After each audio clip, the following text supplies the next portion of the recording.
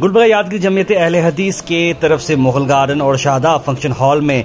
बेटी बचाओ, ईमान बचाओ, एक बहुत ही इम्पोर्टेंट टॉपिक पर जलसा रखा गया था। जी आपको बताते हैं, ये इवेंट जो ऑर्गेनाइज किया गया था, जिसमें हज़ारों की तादाद में लोग यहाँ पर मौजूद रहे। यानी कि मुगल फ़ंक्शन हॉल में जेंट्स के लिए इंतज़ाम किया गया था और लेडीज़ के लिए खास तौर पर शादाब फ़ंक्शन हॉल में इंतज़ाम किया गया था। इस प्रोग्राम में कई सारे Islamic scholar educationist businessman doctors engineer और कई सारे इंटेलेक्चुअल्स ने इस बेटी बचाओ, ईमान बचाओ के इस उनवान पर कुरान और सुन्नत की रोशनी में बताया कि किस तरह से दीनी और दुनियाई तालीम हमको, हमारी बहनों को, बेटियों को देनी चाहिए ताकि मौजूदा हालात में जिस तरह से बेटियों को महफूज रखना है वो काम किया जाएगा। इस प्रोग्राम में आए हुए सभी गेस्ट ने गुलबगा यादगिर के जमीयत अहल हदीस के प्रेसिडेंट जनाब बाबा नज़र मोहम्मद खान साहब और जमीयत के सभी जिम्मेदारों को इस तरीके का प्रोग्राम ऑर्गेनाइज करने पर मुबारकबाद भी दी और जनाब बाबा नज़र मोहम्मद खान साहब ने बताया कि ऐसे प्रोग्राम्स आने वाले दिनों में और भी रखे जाएँगे ताकि माशरे में लोग जो देश के मौजूदा हालात को देखते हुए अपने इल्म में इजाफा करें और किस तरह से दीन और दुनिया तालीम दोनों को ज़्यादा इंपॉर्टेंस दे उस पर बात की गई। आइए देखते हैं।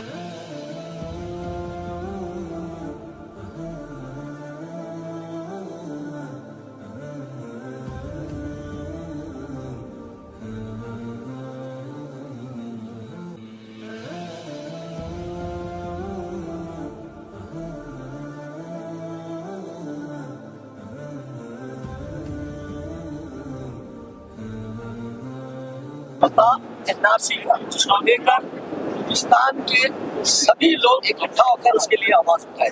लेकिन हर हम एक बार सुनने में आता था कि बेटी बचाओ, बेटी पढ़ाओ। लेकिन पहली बार गुलबर्गा शहर में मैं समझता हूँ पहली बार हिंदुस्तान में ये चीज़ सुनने में आई और देखने में आई कि बेटी बचाओ, ईमान बचाओ। तो ईमान बचाओ, बेटी बचाओ, ईमान बचाओ के तहत खास करके माँ बाप का इसमें क्या रोल रहेगा? आप किस नज़रिए से बेटी बचाओ और ईमान बचाओ? देखिए, शेख अलहमदुल्ला जो है, हमारे कराम जो है इस्पेशली वालदेन के हक़ में, जो औलाद की तरबियत के लिए जो बताया गया है, वो मैं समझता हूँ एक टाइम अगर ये पूरा बयान जो है, उलमाओं का सुन लेंगे तो उसमें ज़ोर दिया गया है। ईमान बचाओ बोल तो आज का जो प्रोग्राम जो था, सिर्फ़ माँ बाप के हक में था। माँ बाप को जो है, अपने बेटियों को कैसा तरबियत देना चाहिए, इस्लामी तरबियत कैसा देना चाहिए, उसके ताल्लुक से बताया गया है। अलहमदिल्ला मैं समझता हूँ कि ये जो है अगर एक टाइम हमारे उलमाओं का और एक टाइम जो है अगर लोग लाइव जो आप लोगों ने जो लाइव किए हैं अगर सुन लेंगे तो मैं समझता हूँ उसके लिए काफ़ी अच्छा और एक कुछ सवाल आए हैं कमेंट के ज़रिए कि हर जुमा जब होता है तो खास करके मर्दों के लिए बयान किया जाता है। तो लोगों का ये कहना है कि हर जुमा एक घंटा जब होता है तो उसमें खास करके बेटियों के लिए भी बयान देखिए ये तो जवाब हमारे उलमाए कराम देंगे उसमें मगर हम जितना जो तालब इल्म है, हमको इतना मालूम है, जब भी बयान किया जाता है, बिलखसूस जमत एलजीज के मसाजिद के अंदर वह ख़वान का भी आने का इंतज़ाम किया गया है और वहाँ भी जो है, हमारा इस्लाम सिर्फ़ मर्दों के लिए नहीं उतरा है, मर्द और औरत के दोनों के लिए उतरा है। अलहमदिल्ला ख़वान आते हैं, फ़ायदा उठा रहे हैं। अब अलहमदिल्ला ये भी जो है, मसाइल ख़त्म हो चुके हैं। कैसा बोले तो जैसा अब मुस्लिम परसल्ला हो जमीयत हो, सब पूरे ऐलान कर रहे हैं, औरतों को जो है, मस्जिद में जो है जगह दी जाए उन लोगों को बुलाया जाए ताकि दीन सीखे सके। ये अब कॉमन हो चुका है बात इसमें कोई सीरियस अच्छा, इस उन्वान के तहत एक अच्छी चीज़ बहुत देखने में आई कि इसमें सभी जमातों के लोग शामिल थे तो आप किस नज़रिए से नहीं मैं शुरू में भी जो जब प्रेस कॉन्फ्रेंस किया था उसमें यही बोला था हमारी जमात की टीम जब तमाम मकातिब फ़िक्र के और जो हमारे सज्जाद खान गुलबर्गा के उनके पास जब गए तो वो लोग भी खुद बेचैन थे। इस मामले में कोई आगे नहीं बढ़ रहा। तो अलहमदिल्ला जमत अलीज गुलबर्गा ने आगे बढ़ के एक प्लेटफॉर्म दिया है और हम, इंशाल्लाह जमत अलीज भी जो है, सब लोगों को जब भी प्रोग्राम करती है, इंशाल्लाह, हम अपने उलमाओं के साथ, उनके साथ इस मौजू के तहत ठहरेंगे और हर आज की तारीख में हर मुसलमान की ये फ़िक्र है कि अपनी बेटियों को कैसा बचाया जाए, उनका ईमान कैसा सेफ़ किया मानता बचाओ से बात बचाओ, लेकिन आजकल के जनरेशन है वो ना चाहते हुए भी मुस्लिम तबके के लोगों को अपने फ्यूचर को आगे बढ़ाने के लिए कुछ स्टेप्स आगे बढ़ना पड़ता तो वहाँ पे कई सारे ऐसे हालात पैदा होते हैं ना चाहते हुए भी उनका सामना करके उन्हें अपने फ्यूचर को बनाना पड़ता तो आप इस बैनर के तरह क्या सजेशन देखिए, हम लोग एक मखलूत माशरे में जीते हैं, जहाँ मुख्तलिफ़ तहजीबों के हामिल, मुख्तलिफ़ अकायद और नज़रियात रखने वाले लोग जीते हैं। तो ऐसे माशरे में बड़े चैलेंजेस फेस करने पड़ते हैं। तो हमारी बच्चियाँ जो अपने मुस्तबिल को रोशन करने के नाम पर जो तालीमी मैदान में आला तालीम हासिल करने आगे बढ़ती हैं, वो बच्चियाँ अपनी ईमान, अपनी मताए ईमान को गंवा बैठती हैं। तो ऐसे में उनकी मताए ईमान की फ़िक्र करना न सिर्फ़ उनके माँ बाप की ज़िम्मेदारी है हम सब की और पूरी उम्मत की ज़िम्मेदारी है। तो हमारे इस प्रोग्राम का मकसद यही था, हमने पेरेंट्स को, वालिदैन को बेदार करना चाहा, तवज्जो दिलानी चाहिए कि बच्चों को लिखाइए, पढ़ाइए ज़रूर, लेकिन सबसे मुकदम क्या है? उनके अखलाक, कैरेक्टर, किरदार, ईमान और अकीदे की हिफाजत है।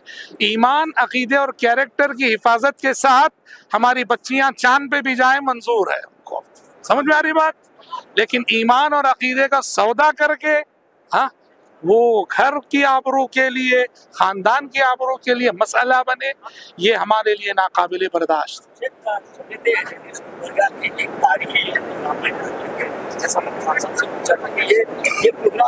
समझता हूँ एक यादगार बन के रहेगा और जहाँ पर के साथ साथ जमातों को इकट्ठा बिल्कुल भाई, देखिए, आजकल बहुत सारे प्रोग्राम, सिर्फ़ प्राय प्रोग्राम होते हैं, असल प्रोग्राम वो है जो करंट टॉपिक पे हो। जो बर्निंग टॉपिक होता है, जो मसाइल इस वक्त कौम को, मुल्क को, समाज को दरपेश होते हैं प्रोग्राम असल वो है जिसमें इन मसाइल का सलूशन और हल पेश किया जाता हो।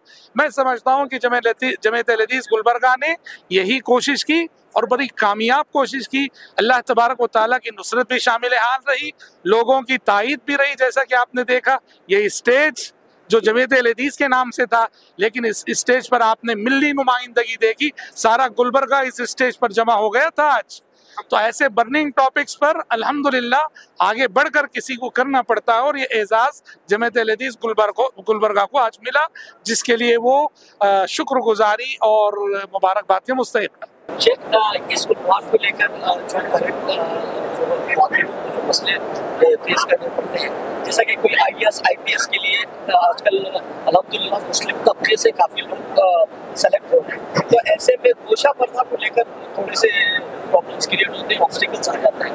तो इस नज़र, आप इस नज़रे से इसको देखिए, जैसा कि तकरीरों में अलहमदिल्ला बताया गया, इस्लाम ने किसी भी तालीम को रोका नहीं है। बच्ची आई पी एस बने, बच्ची आगे बढ़े, तरक्की करे। लेकिन शरीयत के दायरे में, क्योंकि मुसलमान बच्ची है, शरीयत की जो पाबंदी अल्लाह ताला के जो अहकाम है, उसकी पाबंदी करते हुए वो अला तालीम हासिल करना चाहे या आगे बढ़ना चाहे तो उसमें कोई हर्ज नहीं है। लेकिन जहाँ मसला आता है कि अल्लाह की नाराज़गी, जैसे बेपर्दगी हो रही है या अल्लाह के अहकाम पर अमल नहीं हो सकता है तो वहाँ जो है बच्ची आगे ना बढ़े। अगर शरी दायरे के तहत रहकर वो अपनी तालीम को आगे बढ़ाना चाहे बड़ी तालीम हासिल करना चाहे तो उसमें कोई हर्ज नहीं है इन क्योंकि असल चीज़ मकसद ये है कि अल्लाह की रदा होना चाहिए अल्लाह की खुशनुदी होनी चाहिए बच्ची को ये समझना चाहिए कि मैं कौन सा ऐसा काम करूँ जिससे मेरा रब राज़ी हो। क्योंकि असल वो है। तो अगर अल्लाह की रजा के साथ कोई वो दुनिया का काम करती है तो उसमें कोई अर्थ नहीं सोशल मीडिया प्लेटफॉर्म एक अरसे से हम लोग सर्व करते हैं। लेकिन अक्सर देखा ऐसा जाता है कि हमारे तबके की कुछ बच्चियाँ इसका गलत इस्तेमाल उसके लिए थोड़ा तो जो है सोशल मीडिया का गलत इस्तेमाल जो करते अल्लाह से डरना चाहिए उन बच्चियों को, क्योंकि अल्लाह के नबी वसल्लम ने जो है, हदीस में बयान फरमाया कि तूबा लिमन खैर। अगर किसी बच्ची को अल्लाह ताला ने खैर फैलाने वाला बनाया तो उसके लिए बड़ी खुशखबरियाँ नबी वसल्लम ने हदीस में सुनाई।